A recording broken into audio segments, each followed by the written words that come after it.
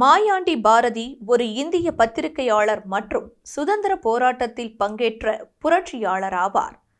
தமிழ்நாட்டில் அமைந்துள்ள மதுரை நகரின் வாழ்ந்த இருளப்பன் ஆசாரி தில்லையம்மாள் தம்பதியருக்கு பதினோராவது குழந்தையாக ஆயிரத்து தொள்ளாயிரத்து பதினேழாம் ஆண்டில் பிறந்தார். இவர் பத்தாம் வகுப்பு வரை படித்தவர். ஆயிரத்து தொள்ளாயிரத்து முப்பத்து ஒன்றில் கள்ளுக்கடை மறியலில் இவர் தனது போராட்ட களத்தை அமைத்துக் கொண்டார். ஆயிரத்து தொள்ளாயிரத்து முப்பத்து ஐந்தில் ஜவஹர் வாலிபர் சங்கம் எனும் ஓர் இயக்கத்தை தொடங்கி இளைஞர்களை ஒன்று திரட்டி தேச சேவையில் ஈடுபடுத்தினார்.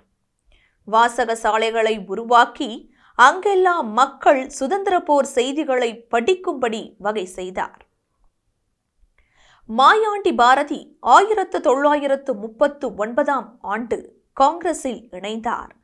தேசபக்த ஆவேசத்தை தூண்டும் படுகளத்தில் பாரத தேவி என்ற சிறிய நூலை எழுதினார். இது தமிழகம் முழுவதும் பெரும் வரவேற்பை பெற்றது. இதை எழுதி வெளியிட்டதற்காக ஆங்கிலேய அரசு அவர் மீது பாய்ந்தது. அவரை கைது செய்து ஓரிரு மாதங்கள் சிறையில் அடைத்தது. பின்னர் ஆயிரத்து தொள்ளாயிரத்து நாற்பதாம் ஆண்டு இந்து மகாசபையில் இணைந்து ராமநாதபுரம் மாவட்ட அமைப்பு செயலாளராக இருந்தார். அப்பொழுது இரண்டாம் உலகப் போருக்கு ஆள் சேர்ப்பதை எதிர்த்து நடந்த போராட்டத்தில் பங்கேற்றதற்காக ஆயிரத்து தொள்ளாயிரத்து நாற்பதாம் ஆண்டில் கைது செய்யப்பட்டு திருவில்லிபுத்தூர் சிறையில் அடைக்கப்பட்டார். ஆயிரத்து தொள்ளாயிரத்து நாற்பத்தி இரண்டாம் ஆண்டு ஜூன் மாதம் விடுதலையான மாயாண்டி பாரதி ஆகஸ்ட் மாதத்தில் பாதுகாப்பு சட்டப்படி கைது செய்யப்பட்டு பல்வேறு சிறைகளில் அடைக்கப்பட்டார்.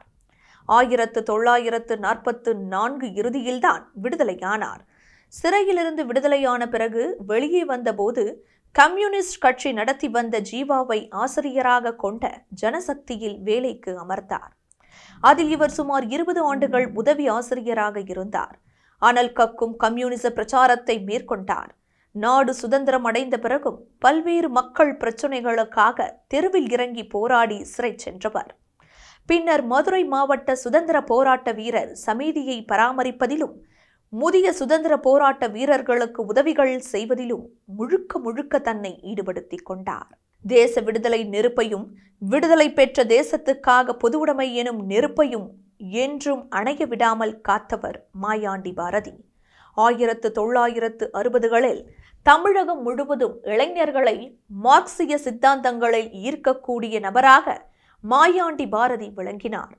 அவர் உடல்நலக்குறைவு காரணத்தால் இரண்டாயிரத்து பதினைந்து பிப்ரவரி இருபத்து நான்கு அன்று காலமானார்.